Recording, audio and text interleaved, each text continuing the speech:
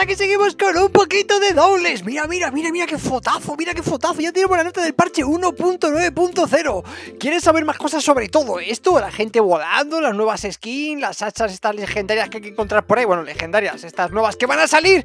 Una auténtica locura. ¿Quieres ver los cambios de los Behemoth? ¿Quieres ver todo lo que se va a venir? Algunos pequeños cambios que dan incluso en el pase de cacería.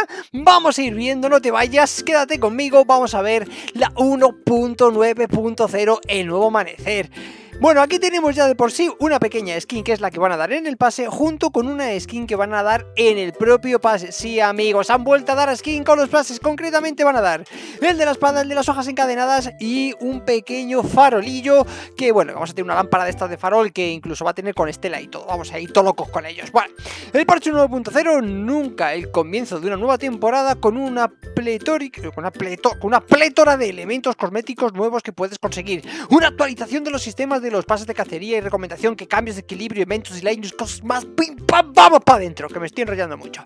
Venga, vamos, rápido, concisos al pie, ¿vale?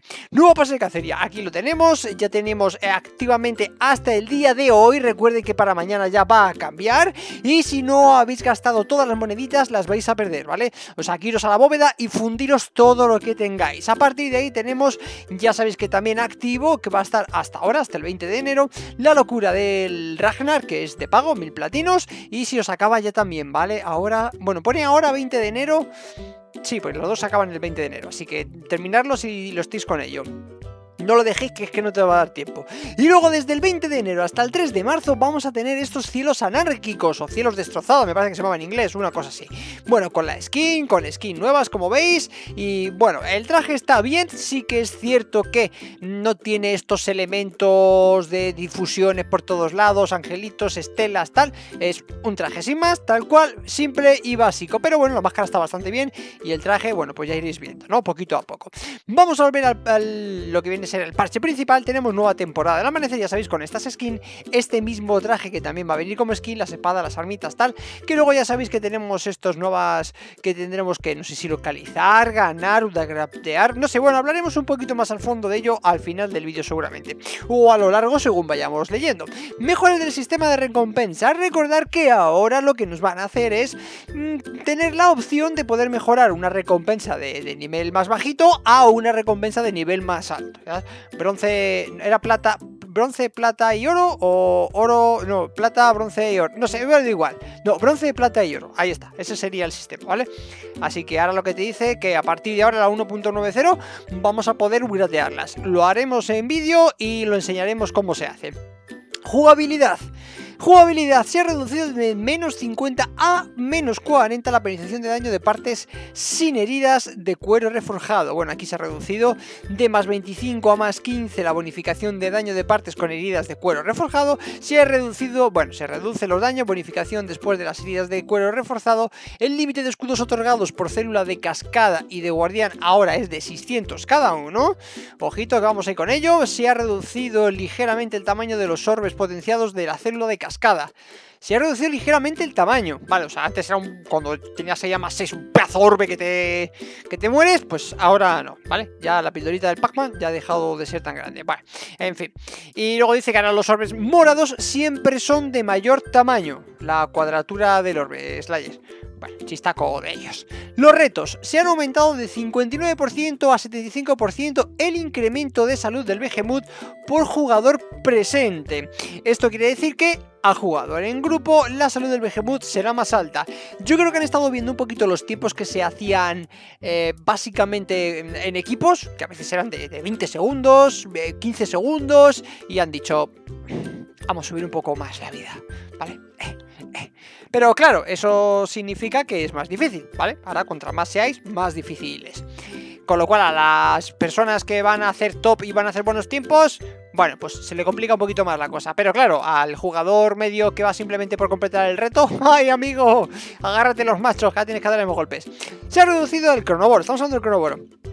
Se ha reducido del 23 al 22 el nivel del cronoboro en el evento anomalía temporal de la falla de la paradoja. Vale, ahora en vez de salir a nivel 23 te va a salir a nivel 22. Dirás tu cronoboro, un nivel menos. Te ganaremos. Conseguiremos esas malditas alas. El Frostful, eso para que no las tengas, claro. Ahora tiene los propios parámetros de colisión en lugar de los del Embermain. Vale, o sea que el Frostful le han despejado un poquito más la distancia, ¿no? Le han aumentado un poquito más la distancia a lo que se parecía al Embermain y, ahora, pues bueno, tiene puntos de colisión distintos. Se ha aumentado un poco de salud de, de sus patas traseras, ¿vale? Tienen más vida ahora las patas traseras, con lo cual significa que va a costar un poco más romperlas y se ha reducido un poco la salud de su cola. Y la cola, pues va a ser un poquito más fácil conseguirla, ¿vale? Más difícil patas traseras, más fácil la cola. Eso está bien. Eventos isleños. En la, parte, bueno, han llegado cambios, bla, bla, bla, bla. Queremos los eventos ofrezcan experiencias divertidas que tengan sentido en el mundo de Daules. Bueno, ¿qué habéis hecho con los eventos? Bueno, se ha reducido de 4 a 2 segundos el tiempo de espera entre rondas de todos los eventos. O sea que de la ronda 1 a ronda 2 hay menos tiempo de espera, me parece bien. Y se ha aumentado de 15 a 25 segundos la fase del botín de todos los eventos, sí, porque algunas eran relativamente bajas. Hay eventos que había que el botín te duraba 10 segundos. Literal, le dices tú, pero ¿cómo? ¿Pero cómo dobles? Que, que, que si hago así, me lo he perdido. Vale, Evento isleño Tormenta de Destrucción, ¿vale? Tormenta de Destrucción. Se ha reducido de 3 a 1,5 el multiplicador de salud de los Behemoth. Es decir, que en, el evento isleño Tormenta de Destrucción tiene menos vida, ¿vale? O sea, que es mucho más fácil para nosotros. Se ha reducido de 3 a 1 el incremento de salud de las partes de los Behemoth. Más fácil para nosotros. Se ha reducido de 3 a 1 el incremento de salud elemental de los Behemoth. Vale, o sea, es decir, la salud la salud de las partes y, luego el incremento de salud elemental de los Behemoth, ¿vale? Todo eso se ha reducido para que sea a nuestro favor. Se ha aumentado de 45 a 60-75 segundos el tiempo entre cristales. Esto, bueno, vale, pues ya está. Los cristales esos que te salen para romper, pues, eh, bueno, pues ha aumentado el tiempo entre que salen y tal. Se ha aumentado de 45 a 90 segundos la duración de la mejora que ofrecen los cristales. Vale, te duran más, perfecto. Y se ha eliminado el cronómetro del evento y ahora solo se ve el medidor de peligro. La segunda fase ahora está en forma de Está formada por un encuentro con un solo Behemoth en lugar de dos y los cristales de tormenta de destrucción ahora aparecen en todas las islas de las cascadas de hierro de forma aleatoria aunque el evento no esté activo. Es decir que el tormenta de destrucción vas a tener cristales por todo el mapa.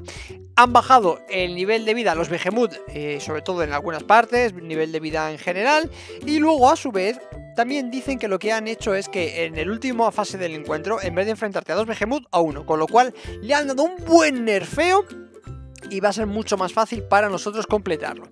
El que ha pasado con el evento isleño de Garganta de Fuego. Dice, se ha eliminado el modificador de los cortafuegos de todas las fases del evento. Vale, ahora todas las rondas están protagonizados por Gemut Igneos, el Herbemen Índigo, el Quiso Flamígero, el Naser Flamígero y el Charrog Ardiente. Es decir, que ahí siempre van a salir estos de fuego. El modificador de la primera fase ahora son las zonas de peligro ígneas. El modificador de la segunda fase ahora son las zonas de peligro ígneas y la lava divisoria. Y la segunda fase ahora está formada por un encuentro con un solo Behemoth en lugar de dos. ¿Vale? Creo que lo de poner un doble Behemoth han decidido que no era lo mejor y por lo visto están, están reduciendo, están reduciendo. Y bueno, ahora el evento isleño Garganta de Fuego, ¿vale? Va a ser un evento prácticamente Behemoth Fuego, con mucho fuego, todo fuego. O sea, que el que vaya con una build del Boreus, eh, suerte para él, ¿vale? F en el chat y esas cosas. Evento isleño Guerrilla Electrizante, por lo que veo aquí están metiendo de Tormenta de Destrucción, Garganta de Fuego guerrilla electrizante, ¿no? Le están como tematizando a distintos elementos cada evento. Los Behemoth ya no cuentan con más salud y daño. En la primera fase ahora aparece un charro ardiente en lugar de un charro y se ha eliminado el modificador de la torre Tesla de la primera fase, se han eliminado los modificadores de las torres Tesla en las zonas de peligro de la segunda fase y el conjunto de posibles Behemoth de la segunda fase ahora es idéntico al de la primera. Es decir que oh, te va a salir un charro con fuego a tope. Y luego se ha añadido una tercera fase que puede comprender una lucha contra el Naizaga Fauces Eléctricas y los Naizagas. O sea que esta fase electrizante va a ser a dúos, por lo que veo. Evento isleño cortar y trocear. Qué bonito, para picar. ya ninguno de los Behemoth tiene la salud reducida ni daño modificado. Así que van a salir con, todo. El conjunto de posibles Behemoth de la primera y segunda fase ahora incluye al Karabakh, al Nasser Brutal y al Strike Segador Lunar y al Killshot Púa Letal. La segunda fase ahora están formadas por un encuentro con un solo Behemoth en lugar de dos. Los Estigianos, ¿sabéis? los perretes esos, de la primera fase ahora aparecen de 6 en 6. Los Estigianos de la segunda fase ahora aparecen de 8 en 8 y no vuelven a aparecer durante al menos 60 segundos tras acabar con ellos. O sea que te van a dar menos el coñazo. Se han eliminado los estigianos de la tercera fase. En la tercera fase deja de aparecer un Behemoth aleatorio y ahora son siempre un Karabakh de nivel 9 y un Karabakh verdugo de nivel 12. O sea, a piñón. Por lo que veo, están diciendo, mira, este evento es para estos Behemoth y siempre estos. Este evento es para estos y este evento es para esto. De hecho, en esta te dicen que la tercera fase mmm, deja de aparecer un Behemoth aleatorio y ahora son siempre los mismos, con lo cual, bueno, ahí estamos. Evento isleño Ola de Frío. Toda la fauna cazadora otorga ahora una mejora al siguiente ataque de un Slayer. La primera fase ahora consta de un encuentro con un único Behemoth con un modificador toque frígido y escupidores que reaparecerán cada 60 segundos. La segunda fase ahora consta de un encuentro con un único Behemoth con el modificador de toque frígido. ¿Frígido? ¿Será frío? No lo sé. Bueno, escupidores y bombarderos que reaparecen con 60 segundos. Y la tercera fase ahora está formada por un Boreus, terror gélido y otro Behemoth de conjunto de Boreus y de la primera segunda fase con la tercera, con la modifica, con la aquella, con la cuarta, con la quinta. El caso es que salen Behemoth, ¿vale? En este caso todos de frío. Ya está, no hay más. Y por último, el último evento, pero no menos importante, eso siempre mola decirlo, está, está bien. Eventos isleños, Strike a la carga, los Shirkes a la carga estos. Dices, bueno, la primera fase ahora consta de los Shirkes de nivel 6 sin modificaciones. Shirkes, Rikes, Ricks, Racks, llámalo como quieras. La segunda fase la consta de 2 de nivel 8 sin modificaciones y la tercera fase a la consta de 1, pero en plan segador lunar de nivel 9 con, con más que son débiles a, tope. O sea, si quieres pajarracos, esta es tu, este es tu evento. Bueno, pasamos de los eventos, vemos que los van a tematizar. Dejamos claro que los eventos se, tematizan por eh, básicamente mm, bien, ¿cómo se diría? Bien, fuego, hielo, electricidad o bien pajarracos que vuelan, ¿vale? Una cosa así. ¿vale? Todo van ahí tematizados. Bueno, calidad de vida. ¿Qué pasa con las hojas encadenadas? ¿Las cambian? ¿Las cambian? ¿No las cambian? Algo han cambiado. Vamos a ver. Los dos primeros ataques de embate lacerante tienen nuevas animaciones. Ahora mola mucho más, ¿vale? El ataque fuerte, el ataque potente. Ahora en vez de hacer así, ¡ah! Que te clavo las cosas. Ahora da un giro sobre sí mismo, un 360, un looping, llámalo como quiera, pero el caso es que queda muy bonito. Los jugadores ahora se mueven o esquivan antes al llevar a cabo un ataque ligero o pesado en las técnicas especiales del segador y danza insaciable. Vale, muy bien, nos dan más tiempo de reacción desde que tú le das, o sea, paras el ataque y le das a esquivar, tenemos un margen más amplio de, esquivar. Con lo cual, bueno, pues oye, un pequeño bufo, venga, va. Eh, venga, está bien. Poco a poco, poco a poco, dobles. El sonido, eh, dime por favor que, que el enjambre ya deja de sonar. Nos dijeron que iban a arreglar, por favor, arreglar eso. El nuevo conjunto de armadura de Nicola ahora tiene sonidos de cascabeles. Puede que las fiestas hayan terminado, pero ahora puedes llevarlas siempre contigo. Se han renovado los sonidos que hace el planeador para proporcionarte una experiencia más envolvente. Ahora oirás una ráfaga al descender en picado y otra diferente al ascender. Además, el sonido ahora coincide con la velocidad de forma adecuada. Bueno, le han metido sonidito a la sala deltas. Esta está bien, está bien. Un toquecillo que le dé más ambiente. Los jugadores ahora pueden reciclar de una o cinco células a la vez con el intermediario. Bien, porque tú antes decías, quiero vender todas las que tengo, ¿no? Pues de ejemplo, yo que sé, eh, la de parasitaria, no quiero más, quiero venderlas todas. ¿Cuántas tienes? 30, de una en una. Vende, vende, vende, vende. Ahora te permiten de 5 en 5. Va más rápido, va más rápido. Los objetivos de misión que piden objetos específicos ahora revelan cuáles son en su descripción. Bien, bien. Quiero que me consigas esto, que esto significa la pata derecha de aquel Behemoth que vistes en aquella ocasión ahí, poner más detalles dobles, que eso siempre está muy bien. El recuadro del chat ahora muestra quién ha interrumpido a un Behemoth. Dale las gracias, anda. Eso está muy bien, porque había veces que le golpeabas entre dos y no sabía que lo... Pues ahora te lo voy a poner en el chat. Eso está curioso. Mira, eso me ha gustado.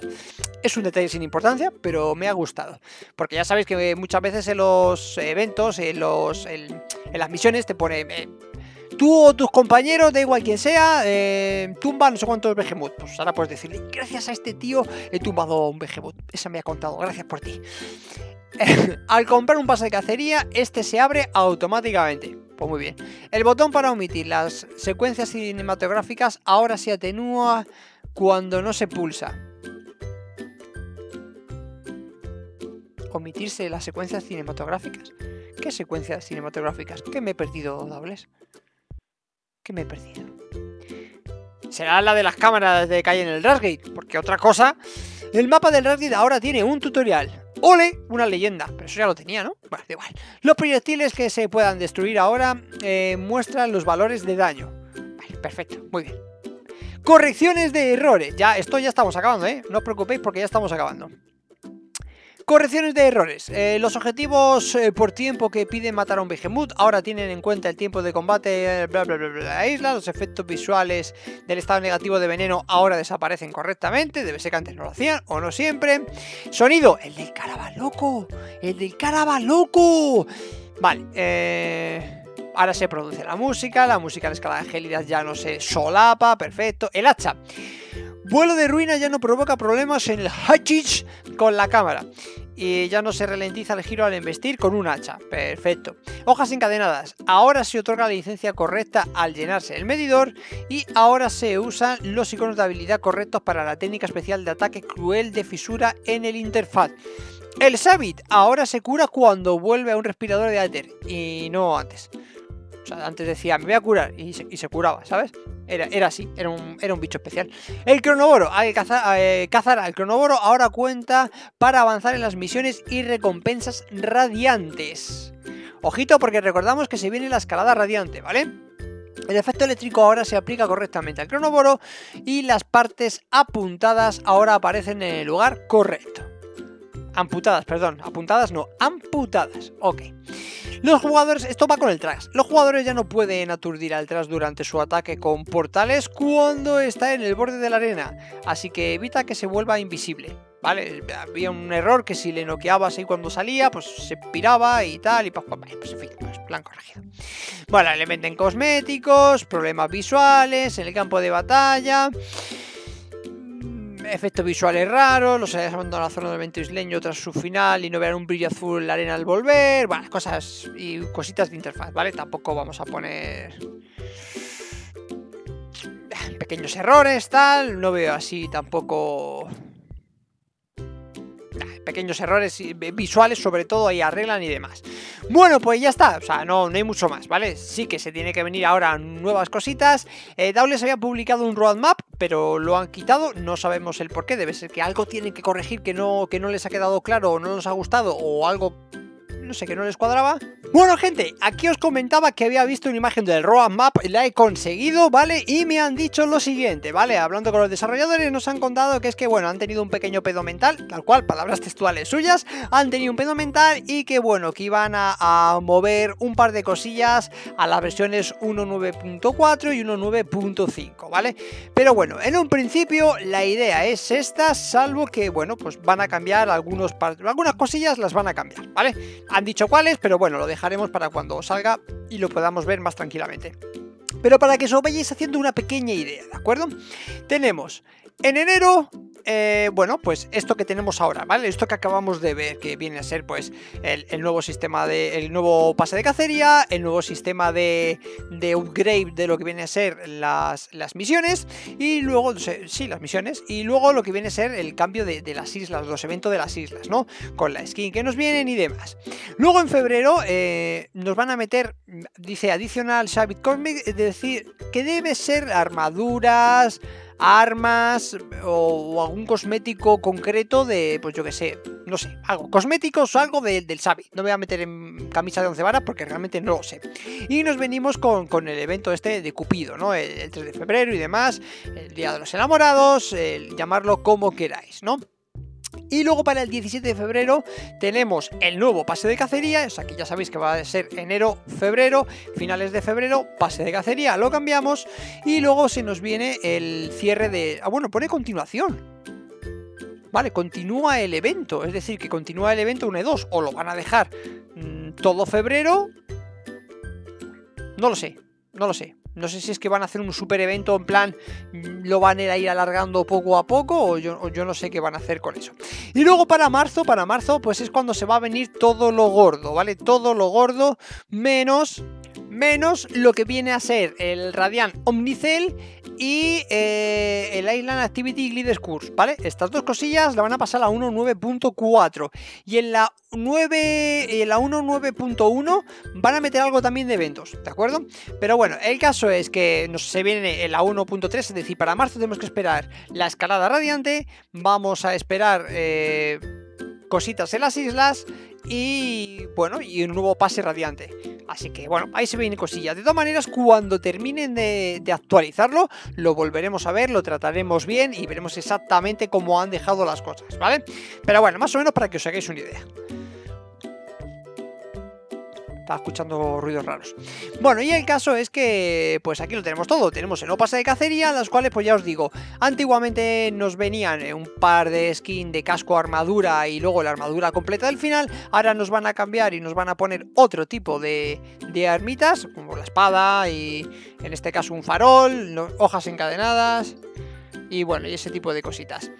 Así que poco más puedo deciros. Eh, muchos cambios en los Behemoth, algún nivel más, algún nivel menos y bueno, un, un, unas notas del parche un poquito flojitas, buenos cambios, el tema de misiones, sobre todo, ¿no? Lo más, lo más importante está aquí, el nuevo pase de cacería, la nueva bóveda, el upgrade de lo que viene a ser los Behemoth y a partir de ahí pequeños cambios de calidades y demás. Poco a poco van a ir apareciendo nuevas cosas, estaros atentos al canal porque se van a venir la escalada radiante. Luego tenemos también estas, estas de aquí, estas, pero el, unas especiales, ¿no? Que iban a salir, que no sabemos cómo es eso, me parece que eran 9 o 7, no me acuerdo exactamente el número, pero el caso es que me parece que eran 7. Eran 7 armas especiales, exóticas, que hay como un reworking de esto, pero con, con la cara de los Behemoth. Y bueno, poco a poco veremos a ver qué nos van metiendo. Así que espero que os haya gustado y nos vemos con más. Adiós, chao, chao.